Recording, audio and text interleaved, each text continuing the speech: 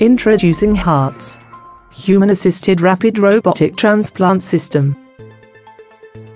Revolutionizing the way FUE hair transplants are done worldwide. Win your patients' hearts with the robotic touch.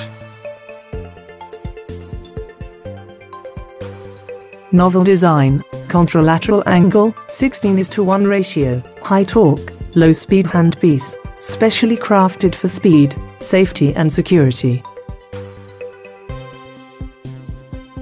The cold barrier fluid storage canister is located close to the handpiece thereby avoiding any desiccation of the grafts and ensuring good graft survival in the cold storage. The 0.8, 1.0 and 1.2 mm diameter punches are specially designed for depth control, and the silicone covering over the step avoids rotational skin abrasion.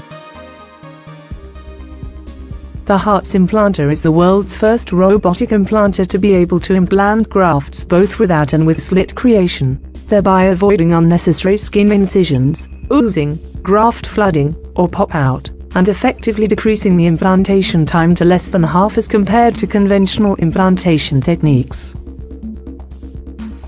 The extracted graft immediately is sent to the cold via fluid storage system where it is stored for further retrieval. Since the cold storage is built with the handpiece there is no desiccation of the grafts while traversing. The HARRTS implanter is the world's best robotic implanter, which self-engages the grafts by mild and safe suction and is capable to implant without the need of creating slits in the recipient area, though it can be used with slits as well.